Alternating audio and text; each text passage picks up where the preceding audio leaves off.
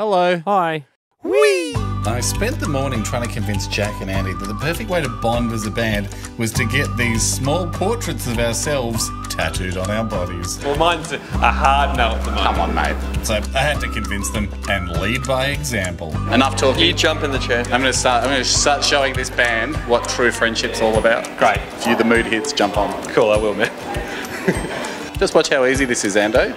I can feel my bond skyrocketing with the band, and I want you to feel what I feel. But I never saw this coming. Guess what, Ham? I'm in. Bond! Yes! here's, here's the kicker. It's henna. I'm not putting Jack on. Well, this, if anything is fracturing the band, it's got to be this. Put him on. No. So Ando was in, and then this happened. I'm going to do it too.